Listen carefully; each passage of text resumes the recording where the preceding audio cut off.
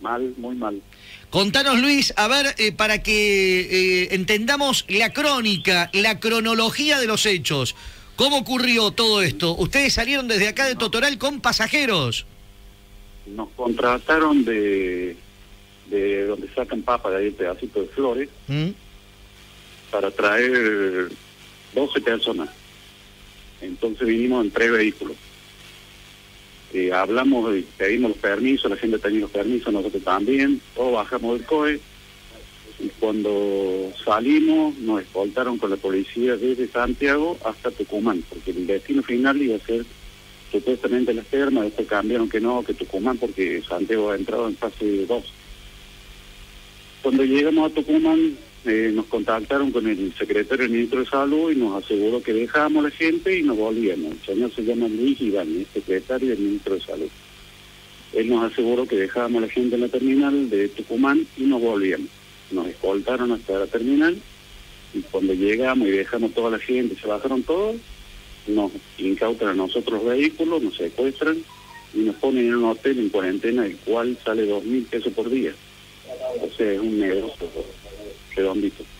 Toda la gente que viene la incautan y la meten a hotel, hoteles que han estado cerrados y que ahora es un negocio fabuloso porque tienen más de 100 personas alojadas. Es decir, todo aquel que va a Tucumán, No todo te aquel dicen que... nada, te engañan primero, primero te engañan, una vez que vos entras... A vos te dicen, vení, Sí. entra a Tucumán, cumplí con tu tarea, que debe ser en este caso ustedes, llevar Sí, sí, gente.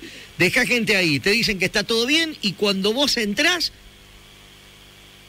te incautan incautan... el vehículo te y te traen un vehículo asignado, vinimos todos amontonados, porque ahí te das cuenta vos que no es que se cuiden del COVID, del coronavirus, ahí te das cuenta vos cuando te traen, que te traen como una bolsa de papas. ¿Cuál los- ¿Cuáles son los... En el hotel 100 personas metidas una noche. Escuchá, ¿cuáles son los... cerrado, ¿no? ¿Cuáles son los argumentos entonces? La pandemia, pero cuando te trasladan, po- poco le importa la pandemia porque te, te, te, No, no, te no, llevan para todo. nada. Yo le dije al señor que nos traía, le digo, usted no tiene miedo de contagiarse, que veníamos todos amontonados. Y dice, no, no, yo me cuido, me contestó, dice. Ahora tenemos que esperar que nos hagan un hisopado, que puede ser hoy, mañana o hasta el quinto día, el hisopado. Después el hisopado por obligación, el primero de julio cambió acá, el COE te obliga a estar los 14 días acá. Pero To- te repito, nosotros fuimos engañados, estafados, ¿por qué?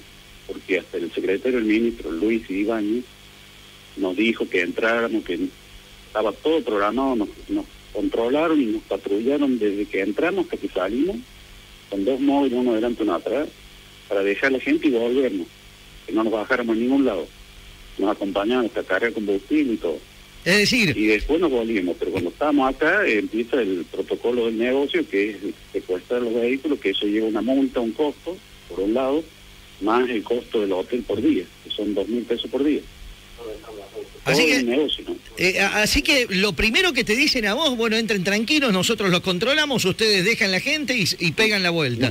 No, vos vos para entrar a custodiaron tu... Como un móvil adelante y uno atrás. Escuchá Luis, vos Para entrar... Vos para entrar a Tucumán tenías que tener todo en regla, es decir, eh, Todos- lo- tenemos todos los papeles en regla. Todos los papeles en El problema regla. es que acá es un negocio. está armado para que vos eh, eh, pagues Es un por... negocio, es un negocio. Vos tenés que pagar para quedarte en el hotel, pagar la multa del, del vehículo. Esto es negocio, o sea, protocolo cero, porque como te dije, nos trajeron así, ¿no? Así que acá el hotel está lleno, está lleno, lleno. Un hotel que ha estado cerrado, calcula que estoy en la habitación 303. Imagínate vos la cantidad de gente que hay. ¿Mm? Es un hotel que se llama Catalina, que está frente al parque, un, un hotel de cinco estrellas que ha estado cerrado y que normalmente valía cuatro mil la tarifa, ahora vale dos mil, pero está lleno. Está Luis, trabajando mejor que Carlos Paz. claro, está trabajando mejor que en temporada alta. Luis, eh, eh, ¿cuántos días hace que están en esta situación ustedes? Nosotros llegamos anoche a la una de la mañana. Ah, te quedan Acá 14. recién la chica que nos trae el desayuno nos dijo que vamos a estar 14 días, otro nos dijo que vamos a estar 5 días. Y la doctora que nos supuestamente nos mandó a hacer el hisopado nos dijo hablen con algún político porque entendió la situación, no trajimos ropa, no trajimos cargador del, celu- del celular, no trajimos nada porque, como te dije, nos engañaron, el Luis Ibáñez nos dijo que entráramos y que salíamos escoltados por la policía y no fue así. Llevaron No todos los olvides per- que esto es un negocio. Llevaron todos los per- y los y los tipos que llevaran que llevaban ustedes los tucumanos quedaron ahí. Los llevaron en un colectivo que deben haber ido anoche más de 40 personas. A Concepción los llevaron. A ellos. Nosotros nos dejaron acá porque nosotros pedimos. Hay dos opciones. Una gratis, que te llevan a asignado también en un polideportivo, en unos pabellones de, como, como de cucheta de tres camas, es con baño compartido.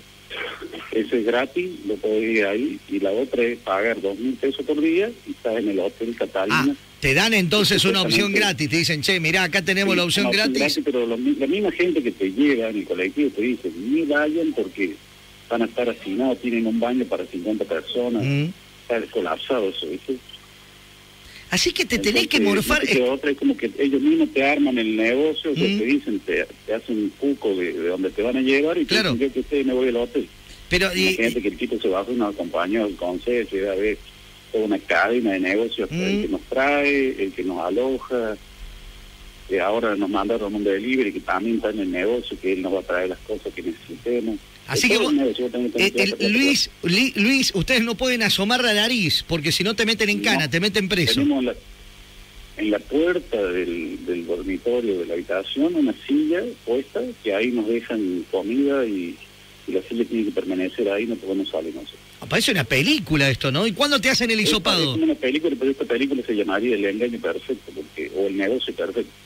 Imagínate un hotel vacío que de pronto anoche entraron 100 personas. Claro, mucha guita. Eh, este, eh, los 100 por 2 mil pesos. no hay forma entonces de dar marcha atrás, tenés que cumplir los 14 días de cuarentena allá.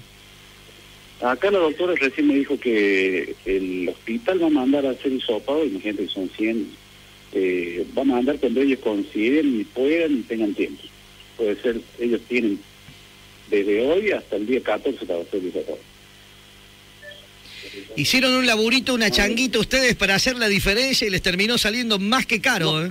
Contrata Flores y la esposa nos contrata, ellos habían pedido los permisos de circulación Mm. para su- sus empleados, le habían dado la baja a la AFI porque los tienen todos en blanco, nos contratan eh, y nos, nos pagan inclusive y vinimos con todo eso, ya habíamos hablado, ellos habían hablado con Iván, ya habían, nos esperaban en, en el límite de Santiago con los dos móviles, nos escoltaron hasta el límite de Tucumán con los dos móviles, cambiamos de móviles en el límite con Tucumán, nos escoltaron hasta, hasta la terminal de Tucumán y acá en Tucumán es donde hacen el negocio.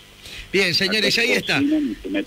La historia de tres remiseros que por hacer una, un, un laburito extra, para hacer un lindo negocio, un viaje largo, este, terminan en cuarentena en Tucumán. Te mando un abrazo, Luis, muchas gracias. Muchas gracias y disculpa el martes. Hasta luego, allí está, señores, la historia de tres remiseros de Totoral. Qué mala suerte, ¿eh? qué mala pata. Pero todo aquel que va de afuera hacia Tucumán termina...